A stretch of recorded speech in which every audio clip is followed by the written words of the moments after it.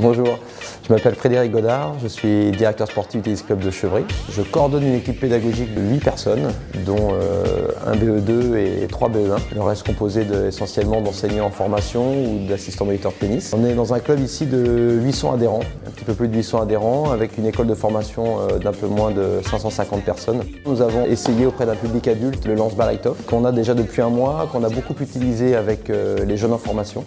Euh, l'avantage effectivement, c'est qu'on a pu y aller gérer progressivement dans l'utilisation avec des tout petits, euh, progressivement le basculer sur du centre d'entraînement avec des joueurs sur un niveau de troisième série voire seconde série. La pratique aujourd'hui avec un public plus loisir correspond davantage à la démarche du club. L'idée c'est qu'un enseignant peut gérer au-delà de 4 ou 5 adhérents comme c'est le cas à chaque fois sur un cours, de gérer une population plus importante et donc de multiplier les possibilités euh, au sein de l'école de tennis et de l'école de formation chez les adultes, avec à travers différents ateliers euh, un enseignant qui va gérer 6, 10, 12 personnes en fonction du nombre de personnes effectivement euh, conviées à ce, format. Ce qui dégage quand même au niveau des enseignants du temps pour gérer à la fois d'autres groupes, offrir aussi une possibilité plus importante aux adhérents de découvrir d'autres formes d'ateliers, puisqu'on peut associer un atelier de motricité, on peut y associer de la vitesse, on peut y associer d'autres choses. Donc une forme de pratique qui est différente et en même temps un enseignant qui va finalement gérer 10 ou 12 personnes alors qu'avant on pouvait en gérer que 4 ou 5.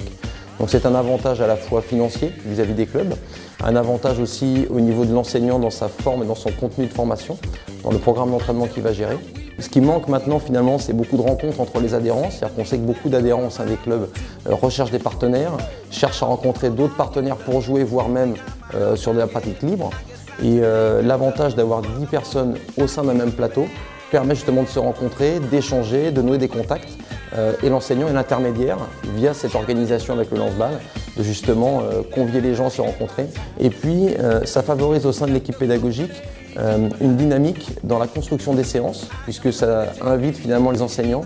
à se rencontrer plus fréquemment, à construire des séances avec des thématiques qui peuvent être différentes et à ouvrir même euh, l'aspect de l'enseignement sur de l'animation euh, ponctuelle, voire même régulière au sein du club, et d'inviter les adhérents à pratiquer d'une manière différente et même d'inviter des partenaires,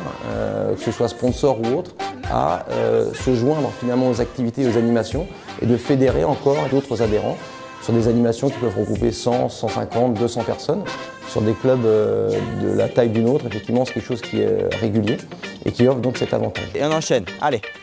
et je fais attention à pas être trop loin de la balle. Je me, je me place bien, je m'ajuste bien, c'est bien joué. Donc là, ce qu'on est en train de voir, par exemple, euh, à travers la gamme coup droit euh, et la, notion de cible, c'est d'une part de permettre aux gens de s'auto-évaluer à travers les résultats dans la cible, de mettre un système de décompte de points euh, qui rend aussi le côté ludique puisque les, gens peuvent aussi, euh, les adhérents peuvent se comparer un petit peu entre eux, euh, se lancer des challenges, des défis sur le nombre de cibles touchées. Et la notion effectivement de décompte de points valorise d'une part les progrès des adhérents, permet aussi à l'enseignant de faire des retours positifs, de voir les points qui sont améliorés et de séance en séance permet aux adhérents finalement de se juger,